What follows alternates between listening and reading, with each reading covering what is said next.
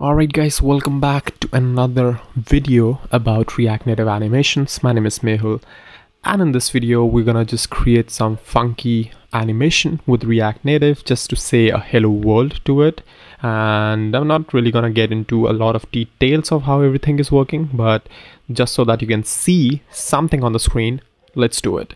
So I'm gonna get rid of all this nasty code first of all. So I'm just gonna say maybe just view from React Native because essentially that's what we need and we need don't need this thing at all. Nothing nada nothing at all. And basically I'm just gonna strip down this whole component as well. So we're gonna start from scratch more or less. So I'm gonna say this is just a simple view right? And I'm gonna bring in something known as animated.view again no questions asked because this is just a hello world program right? And right here I'm gonna say this as width. Width 100 height 100 border radius 100 by 2 and background color oops background color as red right? So this will just create a simple nice little ball for us on the screen.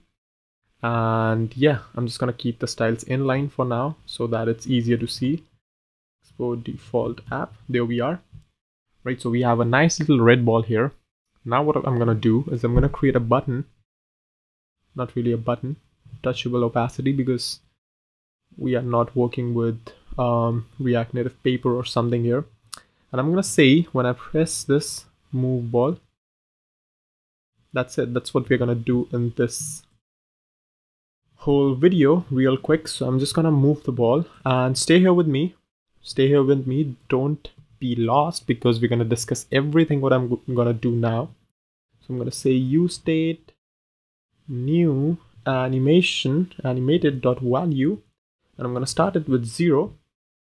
And uh, rather actually just go with xy x0 y0 and when i move the ball what i'm going to say i'm going to say animated dot timing value and then to value x100 y100 stay with me trust me.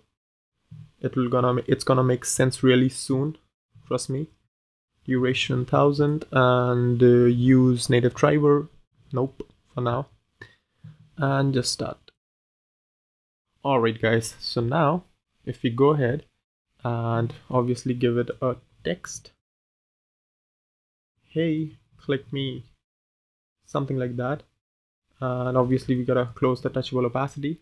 So if I click on this now one last thing this is embarrassing is that you need style this to be value dot get layout right?